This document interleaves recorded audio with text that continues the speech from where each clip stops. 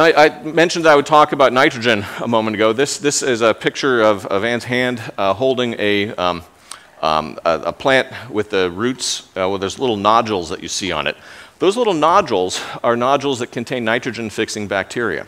Uh, and you've probably heard about, about um, this, this phenomena. Um, it's an example of a symbiosis in which the plant essentially creates an environment in which those microbes live, where they essentially get nutrition and they, they essentially, in turn, crank out nitrogen for the plants. Why is that important? Well, because nitrogen is one of the limiting elements for plant growth.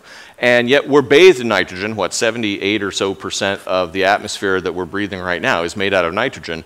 But it's a very stable molecule. The N2 molecule, it takes a lot of energy to crack uh, into nitrogen that can be biologically useful. Microbes, who have an incredible genetic repertoire and diversity, as we'll talk a bit more about later, um, have certain microbes have the ability to crack atmospheric nitrogen and bring it into the biological world. Uh, and plants and microbes have formed symbiotic partnerships in which some populations of those microbes live intimately related with plant roots, and they essentially trade sugar for nitrogen. What is it that plants can actually do that nothing else really can? Well, except that some, some bacteria now, um, they can photosynthesize. They have carbon factories. They essentially can print money for the underground economy. And they trade it to microbes for things that they need, like nitrogen or phosphorus. There's a zone around the roots of plants called the rhizosphere that you may know about, you may have heard about, may be new to you, but it's full of microbes, uh, microbial life, uh, bacteria, and fungi.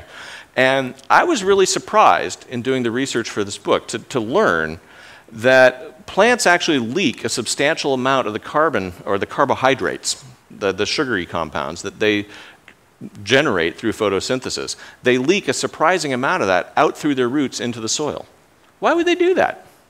You know, why would a farmer essentially take a, you know, a quarter to a third of their crop and go put it out by the highway for anybody to take? It just makes no sense unless you're essentially using, someone said compost, I think, if I'm hearing right. And that's on the right track. I mean, they're basically, what they're doing is they're basically exuding, because, because we call these compounds exudates, because they exude out of the roots, they're feeding the microbes in the rhizosphere. They're basically trying to attract populations of beneficial microbes. They wouldn't do this if it was bad for them or at least you know, they would be selected, there'd be strong negative selection pressures in an evolutionary sense if they were feeding the pathogens. So they're basically leaking out exudates to create a living halo of beneficial microorganisms around their root system.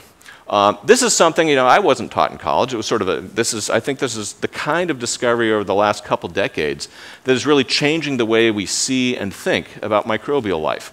In many ways, they're essentially the secret silent partners of the plant world and, as we'll see, in terms of the animal world as well. So the rhizosphere is a zone that's rich with microbial life. It's got many times the density of, of microbial life than the area, than soil outside of the rhizosphere. And it forms this living halo around plants. And what happens in there? Well, you can kind of think about it, if you want, as a biological bazaar. It's a place where there's all kinds of exchanges happening, uh, where plants are trading nutrients in exchange for microbial metabolites, where they trade exudates for microbial waste products. It's a kind of, it really is sort of a, a win-win situation where the things that plants need, microbes can provide as their waste products, and plants who have these sugar factories on board in terms of chloroplasts in their leaves, which, by the way, used to be independent free living microbes, as we'll get back to, um, that produce sugar for them. They trade that in exchange for what the microbes can produce. Um, so fungal hyphae over there shown in the upper left uh, are actually very good at scavenging nutrients out of the soil. And I mentioned phosphorus. There's certain um, um, mycorrhizae that are very good at going out and just bringing phosphorus back and trading it to plants. Um, Microbial metabolites uh, can serve uh, major roles in, uh, in plant health, um, including, surprisingly, um, keying in and changing plant response, plant defense systems. If you think about, well, I didn't imagine before I was starting to work on this book that, you, that when above ground pests attack plants, those plants can release chemical signals in their exudates into the soil that essentially trigger microbes in the soil to in turn generate metabolites that the plant uses to help defend itself against those predators. Yeah, I mean, that's, that's, that's not what I was taught in my soil science class. um, so you have this communication going on between the plants and the, microbial, and the microbes that they are subsidizing with their sugary exudates. There's this back and forth signaling and communication. If you think about what kind of an immune system, a defense system, does a plant have? And I know I shouldn't use the immune system for a plant, but I did that on purpose. What kind of a defense system does a plant have? They're stuck in place, they don't move around. They can actually, they basically take advantage of the wider genetic repertoire of soil life to essentially trade compounds they can make for compounds that come in handy for them as long as they keep those beneficial microbes around and living in the rhizosphere. This is an example of a symbiosis, um, of a win-win situation where two different species, in effect, cooperate, each pursuing their own interest, but generating a, a more beneficial um, system. You might think about that in the way that, like, um, you know, villages uh, are symbioses between people, um, where we can specialize in doing different things. I can be a geologist, you can do whatever you do, um, and together we build a bigger society. This is a kind of those kind of uh, interchanges uh, and processes happen in between plants and microbes as well. You can also look at what happens if you take away the need for plants to generate their exudates. If you look at different um, differences in fertilization, for example, it can affect the style and material with which you fertilize plants, can affect root growth, and thereby affect the production of plant exudates, um, which influences, in turn, the, the microbial life in the rhizosphere and the density of microbial life in the rhizosphere. Um, and so if you look in that the figure that we're showing here, um, if you look in the, on the left-hand side, it's sort of an abstract plant root uh, under uh, no, these are uh, roots taken from um, uh, tomato plants, if I recall correctly, um, that show the example of the root system that develops with, with no fertilizer. In the middle, it's conventional nitrogen-rich fertilizer. Um, and you'll notice that you don't get quite the root density. Well, if, if a plant doesn't have to work very hard to actually acquire the nutrients that it needs, the nitrogen that it needs for growth, it puts less energy into root growth and it exudes less of those microbe supporting compounds into the soil. You get a relatively depauperate rhizosphere or just or a less diverse rhizosphere in those situations. Over on the right, if you're using composted manure, well, it stimulates microbial growth. You get a much richer rhizosphere, you know, much uh, denser root network, and a richer rhizosphere. In other words, the nature of what plants eat, if we can talk about plants eating, which I will do, so I might as well talk, I will talk more about that, so I will talk about that. Um, if we can think about what plants eat, what they actually have in terms of their nutrient sources actually matters to their growth, their health, and their relationship with their microbes, which is where the relationship with people and our microbes will come back in in a little bit. So if we look at the rhizosphere in plants, um, they're really rich in mycorrhizal fungi that serve as an extension to the roots of the plant. You can think of the fungi as essentially uh, hair extensions for, for plant roots, if you will. They can actually reach, except ones that can actually reach out and bring things back to you. So science fiction hair extensions. Um, and what they'll do is they, the, those mycorrhizal fungi will forage for nutrients that they then can um, scavenge, bring back into the rhizosphere, and release and trade with plants uh, for, you guessed it, exudates. Um, what does that do for plants? Well, it really can enhance their uh, uptake of minerals, things that we need as micronutrients, things we want in crops, um, and they can enhance the, the, uptake of basic nutrients and micronutrients as well. So essentially, they, and they also can provide for the, the chemical signaling and exchanges that influence plant growth. Some of the microbial, um, the microbial um, metabolites that are generated from either exudates or from the processing of organic matter, the other source of nourishment and nutrients to, to microbes, can actually boost plant growth. They, they can, some of these microbes are producing plant growth promoting hormones that plants need.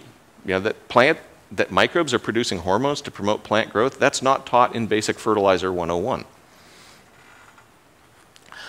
The other thing that really surprised me as a geologist, though, is that when I looked back at the order in which life came back to our yard, it looked kind of familiar to me.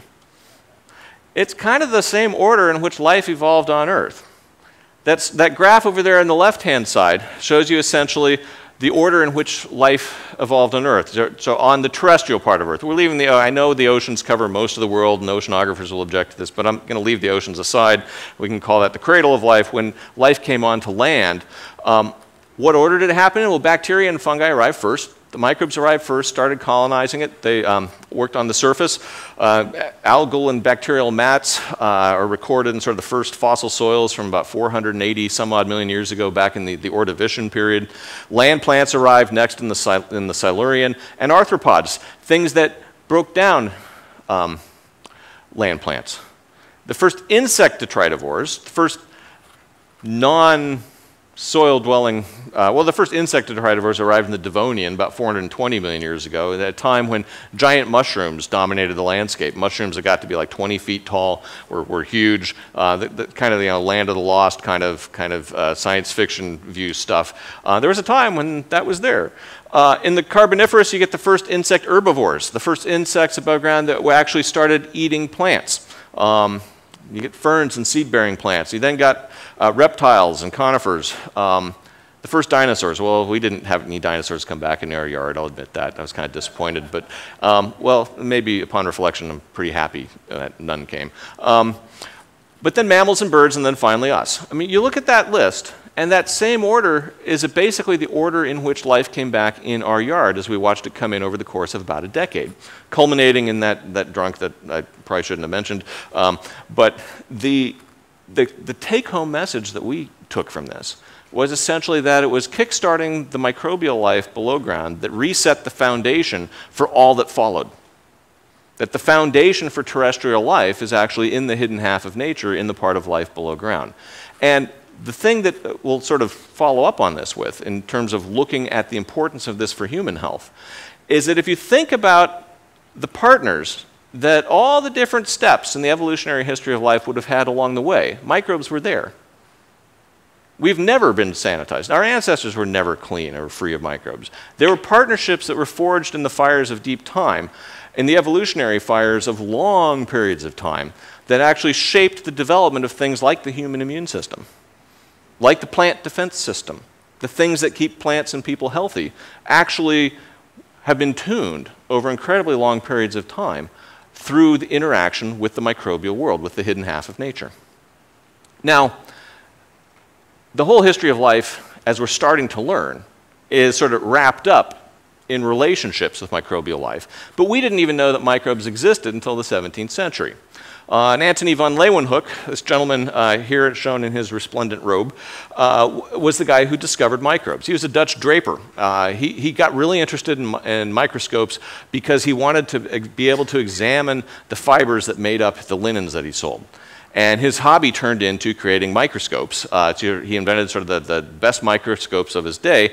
And lo and behold, in a um, sample of pond water that he had uh, sampled, he discovered th these you know, small things swimming around in a forest of, of small plants. He considered microbes marvelous curiosities. He called them wee beasties. Uh, he thought maybe they did some things, but they, wasn't, they weren't really thought to be all that important for one simple reason. They were really small. I mean, you couldn't see them. We didn't even know that they were there. How could something that was invisible, so tiny, actually do anything important at all? It just did not make sense in his day. Um, it took several centuries after Leeuwenhoek's astounding discoveries for scientists to start really thinking that microbes did anything of much interest. It wasn't until the 19th century that uh, people started to realize, oh, it's microbes that actually fermented beer and wine. Maybe they were useful after all. um, or that they actually were the root of some diseases. Maybe they weren't so good after all. Um, and in 2015, Brian Ford built some replicas of Leeuwenhoek's microscopes. There's a photograph of, of one of his that shows you uh, the kind of things that Leeuwenhoek would have seen down there at the bottom. But the point there is that it took a long time after we recognized that microbes actually existed to come to the conclusion that they did much of any importance. If we fast forward to today, we actually know that if we look at the kind of sort of modern tree of life uh, that has resulted from genetic sequencing, it shows that microbes are actually sort of dominate the tree of life. Um, This shows Carl Woese's famous figure from the Proceedings of the National Academy of Sciences from 1990, where you can see the sort of the branching structure, um, as he put it, of the tree of life, where bacteria over there in blue, uh, archaea, which are also single-celled things that would look just like bacteria to you and I, but have a different composition and structure. Um, are two of the three main branches of, of life. The eukarya over there, the sort of the, the animals that have uh, nuclei and that uh, all sort of multicellular life arose from, is over there on that side. Everything, every branch in that tree that has an M, a star, or a C, everything that's just a letter, those are microbes. Notice that plants, fungi, and animals, the three the parts of nature that we tend to know of as nature, are just three little branches over on the right hand side. And people would be this tiny little twig over on the corner of the animals. Um, so the world of life as we know it is dominated by microbial life. They are, they are incredibly diverse genetically. Their ability to do things in terms of their, their um, genetic repertoire, their ability to make, to make things, to change things, to transform things, to break things down, turn them into useful things, is actually quite astounding.